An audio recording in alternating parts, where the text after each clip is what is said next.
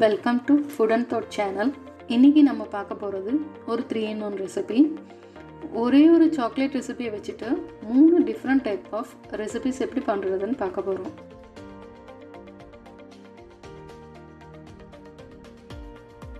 தேவையான பொருட்கள் cocoa powder அரை teaspoon maida three fourth cup sugar half cup butter one tablespoon dark chocolate half cup biscuit ஒன்று curd half cup. Oil half cup. Milk half cup. Baking powder 1 teaspoon. Baking soda கால் teaspoon vanilla ice cream one spoon first ஒரு round ஷேப்பை பவுலில் எடுத்துட்டு aluminium ஃபாயிலை வச்சு அந்த பவுலை நல்லா cover பண்ணிடணும் உள்ள. இந்த மாதிரி ஃபுல்லாக கவர் பண்ணிடணும். எக்ஸ்ட்ரா இருக்கிறத வெளியில் பண்ணிடணும்.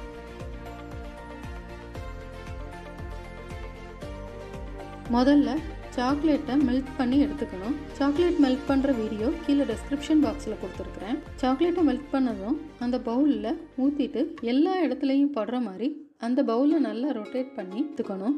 அதில் உள்ள எக்ஸஸ் சாக்லேட்டை நம்ம வேற ஒரு இதில் எடுத்துடலாம். இது நல்லா செட் ஆகிறதுக்காக ஃப்ரீசரில் வச்சிடணும்.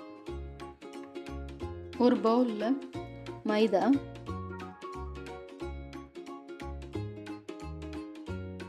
baking powder baking soda cocoa powder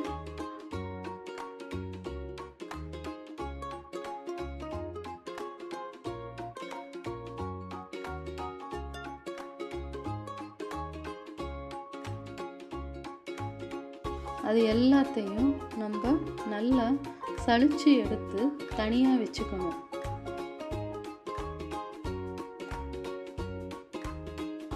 சுகரை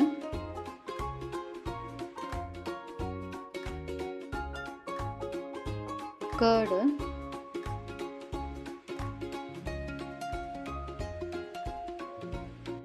ஆயில் இது மூணையும் ஃபஸ்ட்டு நல்லா பீட் பண்ணி எடுத்துக்கணும். இதை நல்லா பீட் பண்ணதுக்கப்புறமா அந்த மாவு கலவையை கொஞ்சம் கொஞ்சமாக சேர்த்து பீட் பண்ணிகிட்டே வரணும்.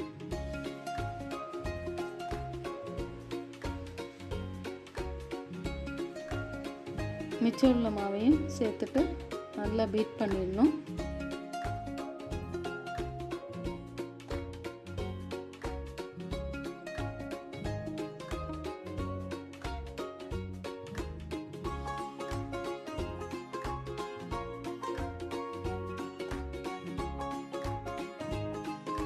பீட் பண்ணதுக்கப்புறமா பாலை ஆட் பண்ணி அதை மறுபடியும் நல்லா மிக்ஸ் பண்ணிக்கணும்.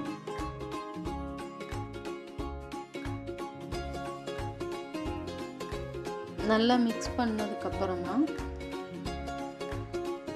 ரெண்டு மக்கு எடுத்துட்டு அதுக்குள்ள ஆயிலை க்ரீஸ் பண்ணி வச்சுக்கணும். வச்சுட்டு ஒரு மக்குக்கு அப்ராக்சிமேட்டாக மூணு கரண்டி மாவை அதில் ஊற்றணும் மக்கு கேக் பண்ணுறதுக்கு ஸோ இந்த மாவு இந்த ரெசிபி வந்து மூணு மக்கு கேக்குக்கு உள்ள அளவு. ஸோ ஒரு பவுலுக்கு மூணு இதை மூணு கரண்டி மாவை நம்ம ஊற்றினோன்னா சரியாக இருக்கும். அதாவது ஒரு மக்குக்கு பாதி அளவுக்கு மாவை எடுத்துக்கணும். நிறைய இருந்தது நல்லா டேப் பண்ணிவிட்டு அவனில் மக்கு அவனில் வச்சிடணும் வச்சுட்டு மைக்ரோவேவ் மைக்ரோ பவரில் மைக்ரோ பவர் ஹையில் ஒரு ரெண்டு நிமிஷம் இதை நம்ம வைக்கணும்.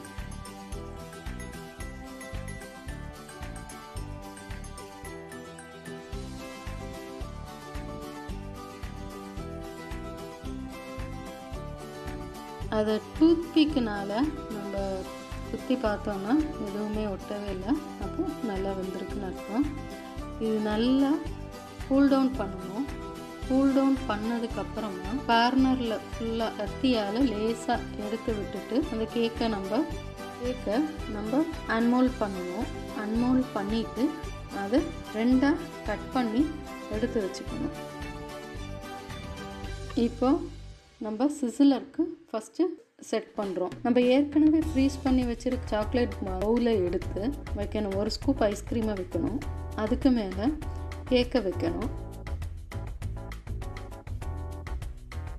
அதுக்கு மேலே பிஸ்கெட்டை வைக்கணும். பிஸ்கெட் எதுக்கு வைக்கிறோன்னா சிசில் ரொம்ப சூடாக இருக்கும்.